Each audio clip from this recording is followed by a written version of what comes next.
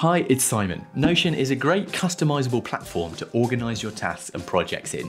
As part of my step-by-step guide series to my Notion Life OS templates, from setting daily priorities to creating dependent task reports, here are five great to-do list tips anyone can use in Notion to make managing your to-do lists so much better.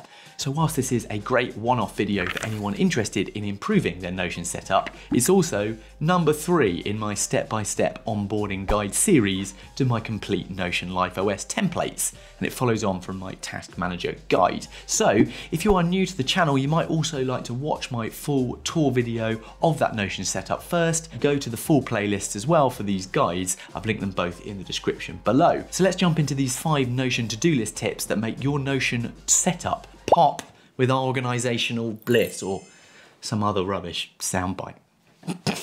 right, let's just, let's just do it. So I'm gonna now break down a couple of the additional columns that you may be kind of going, what are they for? In this system, we have something called daily priority. Now, the reason this is very useful, if we now just move a couple of things to all of them to today so that we can look more closely at this. Today, today. Okay, so we've got four tasks in here. This list is sorted by an order of things. The one thing is the one thing you've got to do each day, quick actions you want to get done really quickly, and then where you want to place things. Now, the idea of this is that you can put things in an order. So I'm going to do that in the evening. I'm going to do that one in the afternoon. That is actually going to be morning because I want to start with doing that and it puts them in an order in the day. The advantage of this is if we look at the calendar view, it will put them in that order for you so you can then check them off and work down it. That's all daily priority is for, to organize your specific day. So each evening, I would suggest you look at your view, move things around and you go, okay, I didn't manage to do that that didn't quite happen. Let's just make that a morning job for the day after tomorrow. You clean everything up and then you've got a nice clean view of your tasks for the day. You can also then check your today view if you want to do it up here and it will sit there like that. So that's good. This progress view is purely to show you subtasks. I would ask yourself, do you really need subtasks in your system? They're great for kind of larger jobs but I will show you more about that a little bit later on. I think it might be useful though for us to look at something called context, PP or T. I realized I haven't actually spoken about this for a long time on the YouTube channel. This just means you can put people, places and things. Why would you do this? Well, you might say you just want to be able to do a quick search of all of your tasks by a certain context. So that I need to do at my studio. And it's going to be high energy. Researching mailing list providers, I just need to do that at the computer. Plan out the shed, I need to do that at home. And book a holiday, I need to do that at home. And why don't we say this relates to the computer as well. So what that could mean is I could just quickly add a filter by context. Great, just set that up. And then I can just click into here and I just wanna go, what am I doing at home? And it will only show me stuff by home. So you might go, oh, I'm meeting my mum. What have I got to do with my mum? Let's just quickly, I need to remember to do these two things, which don't have any relationship to my mum. well, maybe the holiday could. Don't use it if you don't want to. It's another tool in the system. You can literally delete anything that you think is not for you. That is the joy of a template. Let's look at this, actionable. This is a formula, and you'll probably be going, what on earth is that for?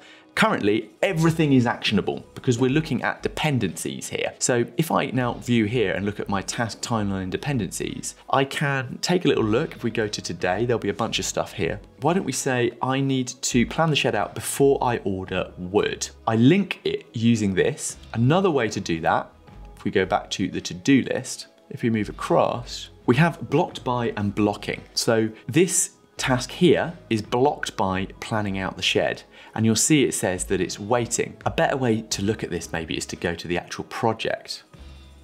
If we jump into the project, you can see here that one is actionable and one is waiting. So you can see, again in the timeline, that one is blocking the other. If this one was then clicked as done, this then is listed as actionable. And that is the idea of blocked and blocked by. If we close this back up, when you're putting tasks in, you might want to create a new task. Let's say it was build coffee station. Another task would be order coffee station items. And another task might be bring tools to studio. So when you're setting this up, you could quite easily say, okay, what's gonna be blocked by what? So building the coffee station is gonna be blocked by bringing my tools. And this is actually gonna be blocking build the coffee station. That's another way to input it. So currently this one will be waiting. So if I now add these into a project, let's add them to the YouTube studio without a due date and then click through to that YouTube Studio view, we can see that this is waiting. I can click on it and I can see what it's blocked by, great. So if I click order coffee station items is done, brings tools to studio is done, then that becomes actionable. So this is what the dependencies system is and what blocked by and blocking is. And don't forget that you can, in this home page here, under this week's tasks, you can click to the timeline view where you can link different things to different items, which will adjust dependencies. This is also most useful when you link it to subtasks. If you want to learn more about how dependencies and subtasks work, I recommend checking out my subtasks video on YouTube. It will show you more about how the system operates, and I think it will make loads of sense within the template. The next element you may or may not want to use is subtasks. I would suggest the best way to set new tasks for with subtasks is to do it in a project. Let's jump in and I'll show you an example. Let's go into my builder shed.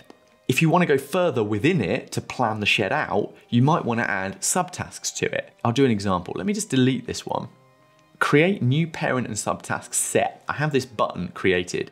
What this does is essentially create dependent tasks within the system and it gives you a little example of it. So I'm gonna create that set and this is gonna be plan, shed, build, design. Now I can go down and I'll see my subtasks. Make sure this is set to that. You can just add them in here. I'm going to call the first bit mind map ideas, draw up visualizations, create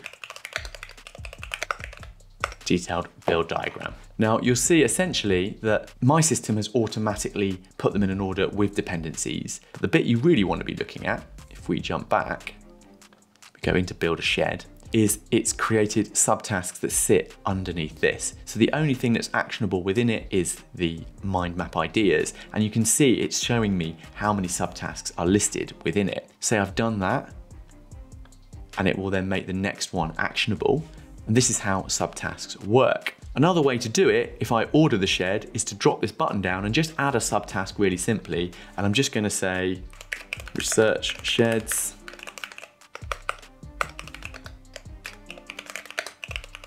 I'm making this up, but you get the idea. And there you go. And again, if I want to make them dependent, I can just essentially click into here and remember to say that this main task is blocked by check budget and order.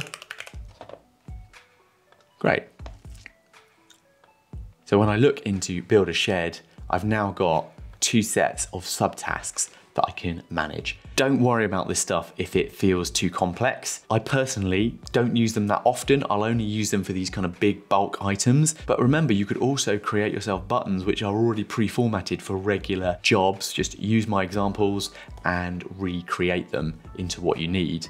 Think they're quite powerful solutions. The final thing on this advanced task management guide for this system is probably recurring tasks. And recurring tasks are actually really simple. If you want to create recurring tasks, I would suggest you do it like this. Click into here. I have this duplicate a new recurring task. So I would select this template and duplicate it, rename it the recurring task, which could be do my weekly review, if you really want to be sure come back out, click into here, and then you wanna set that new template to repeat when you wanna do it. I'm gonna say I'm gonna repeat it weekly on a Friday. and you can set the time it creates. Make sure in your recurring task you set this time zone to your own time zone so it works. Save that, and that will now show me that it's already repeating and that will just turn up in the system each time and you will find it in the usual places when it's ready based on the filters. Great. That's the only option currently for recurring tasks in Notion. We're hoping there'll be some that will populate the calendar, um, but you know, maybe soon. So that just about does it for getting you onboarded with task and project management, using the weekly review, using the additional elements to the system. Hopefully that'll get you moving along with Life OS. And just remember, this is here to be edited, reduced, simplified, added to as you wish.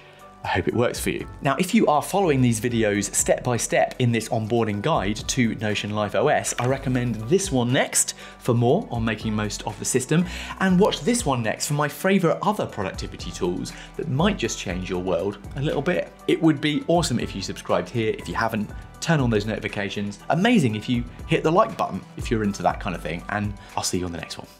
Bye.